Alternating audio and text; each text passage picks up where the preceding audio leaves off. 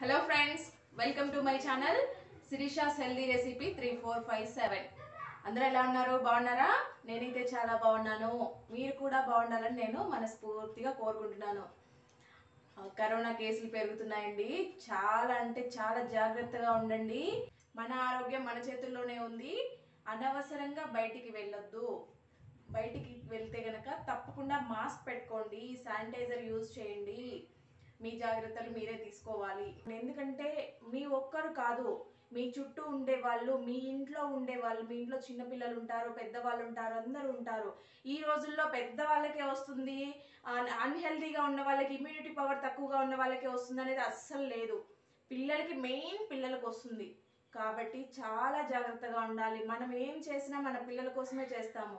కాబట్టి మన జాగ్రత్తలు మనమే తీసుకోవాలి. ఎప్పటికప్పుడు హ్యాండ్స్ వీలైనంత వరకు శానిటైజర్ యూజ్ చేయండి హ్యాండ్ వాష్ చేసుకోవడానికి ప్రిఫర్ చేయండి. మాస్క్ మాత్రం కంపల్సరీ. ఓకే అండి అందరూ కూడా జాగ్రత్తగా ఉండండి. Stay home stay safe. Work చేసే వాళ్ళకి తప్పదు బయటకు వెళ్ళాల్సి వస్తుంది.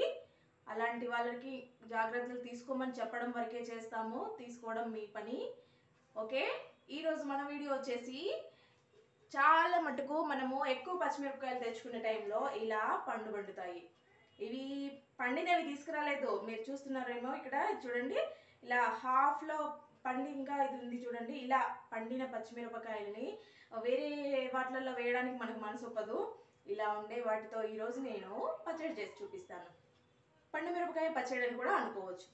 ఈ ఇలా మిగిలిన వాటిని వేస్ట్ చేయడం ఎందుకు? దీన్ని ఒక పచ్చడి పెట్టేస్తే ఒక టూ డేస్ వచ్చినా వస్తుంది కదా. అందుకోసము ఈరోజు నేను దీన్ని పచ్చడి చేస్తాను. ఓకే అండి అందరు చూసేయండి. చాలా బాగుంటుంది.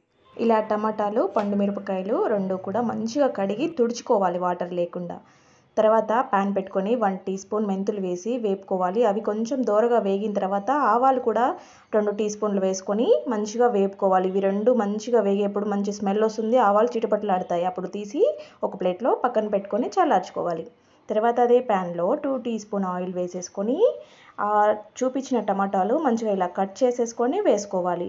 ఈ టమాటా అంతా కూడా మంచిగా మగ్గాలి. మొత్తం స్మాష్ అయ్యేలాగా మగ్గిపోవాలి.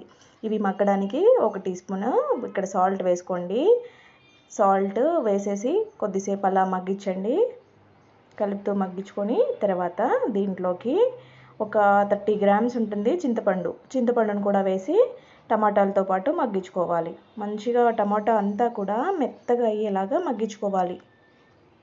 చూడండి ఇలా కలుపుతూ కలుపుతూ మగ్గించుకోవాలి. ఇది మీడియం ఫ్లేమ్లో పెట్టి మాత్రమే చేసుకోవాలి. చూడండి ఇలా అయితే సరిపోతుంది. అప్పుడు తీసి పక్కన పెట్టేసుకోండి. ఇది కూడా కంప్లీట్గా కూల్ అవ్వాలి. తర్వాత మనం ముందుగా వేపు పెట్టుకున్న మెంతులు ఆవాలు ఫైన్గా పౌడర్ చేసుకోవాలి. చూడండి ఇలా దీంట్లో ఇప్పుడు ఇది పక్కన పెట్టేసుకొని పండు మిరపకాయలు కట్ చేసి పెట్టుకొని ఉండాలి. ఆ కట్ చేసిన పండు మిరపకాయల్లో కొంచెం సాల్ట్ వేసుకొని మనము మెత్తగా మిక్సీ పట్టుకోవాలి. మిక్సీ పట్టిన దీంట్లోనే పండు టమాటా మగ్గించుకున్నాం కదా అది కూడా వేసేసి మళ్ళీ ఒకసారి మిక్సీ పట్టుకోవాలి.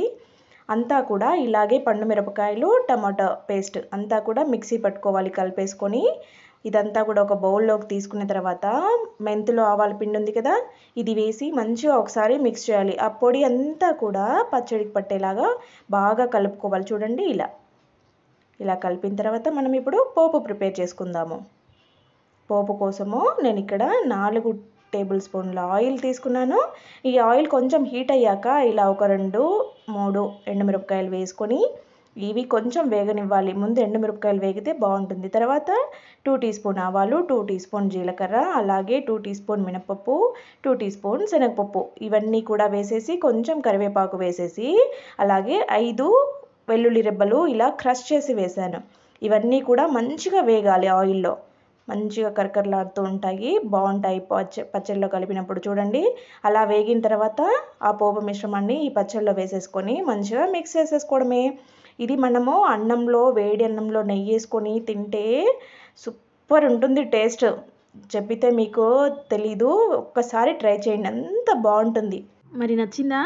నచ్చితే కనుక తప్పకుండా లైక్ చేయండి షేర్ చేయండి అలాగే మన ఛానల్ని సబ్స్క్రైబ్ చేసుకోండి. మరొక వీడియోతో మళ్ళీ కలుసుకుందాము. Thank you.